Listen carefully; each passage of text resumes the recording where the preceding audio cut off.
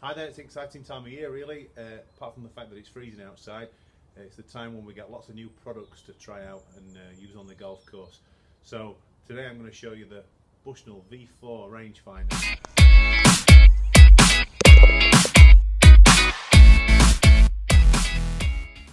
These are obviously pretty accurate. I'm just going to do a little experiment here. So if you look here, this white target is 200 yards. It's actually 200 yards from the middle of the range and we're just a little bit of an angle here, it's probably slightly less.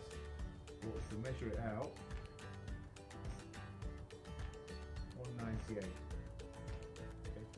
Which is obviously pretty good. I know these are accurate because we've paced them out. We've done them with all sorts of things to make sure that they're accurate from the middle of the range. But this little baby's got something extra. If you see here, this is the slope edition, which means we can factor in gradient. So we're going to show you a little experiment now. So the back fence is 218 yards away. And I know that because I've just lasered it. But if I laser the top of the back fence, 218 yards to the top of the back fence, but with a 3% gradient that it's telling me, it's actually 229. Now that's quite interesting because obviously that would be probably for me a good club, maybe even two clubs difference uh, in the summer to find a target the same distance away. So what I'm going to do now is I'm going to take this out onto the golf course, I'm going to change my shoes and I'm going to see what the readings are like on here compared to what they're like on my Garmin device. So as if by magic the sun's come out and I've come out, we're on the 11th here at Sandhill, just next door to the driving range uh, and we've got an approach shot here. I'm going to measure it with the Bushnell, see how far it is from the flag.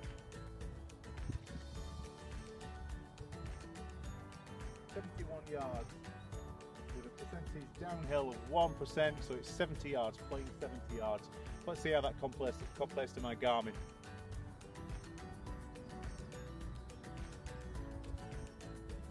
Okay, so my Garmin device says I've got 76 yards to the back of the green, but on my way up I paced it out and the flag is 4 yards from the back of the green. So in terms of accuracy, my Garmin's saying 72 yards to the flag.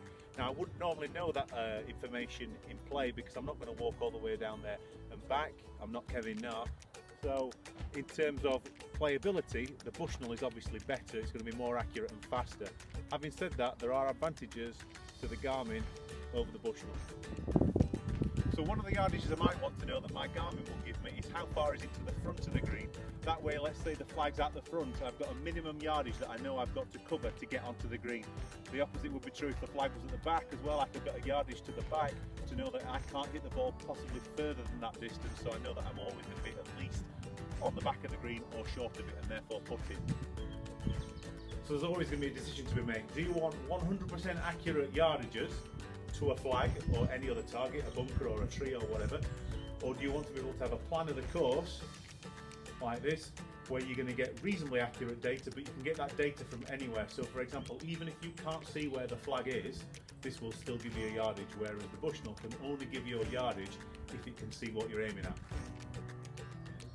I do know, for example, that a lot of tour players are using the Bushnells in practice rounds because then they can figure out the gradients and make some notes on the yardage books and take those notes onto the course during the competition and get better uh, better yardages to play with. That's possibly one of the reasons why we get a lot of slow play. And I do wonder why the R&A and the USGA won't allow these kind of things to be used during competition. If it's going to speed things up, surely that's good. And if you're playing a course regularly, or if you're only playing with your mates and people don't mind, what's to stop you using this anyway? And I do like this device. I think it's a really good piece of kit. The ideal scenario for me is I've got one of these, but maybe one of my playing partners got one of these. And so then no matter where you are on the golf course, you can always get all the information you want. So the Bushnell V4 Slope Edition uh, retails at 299 We can supply them down here, obviously, at Sandhill.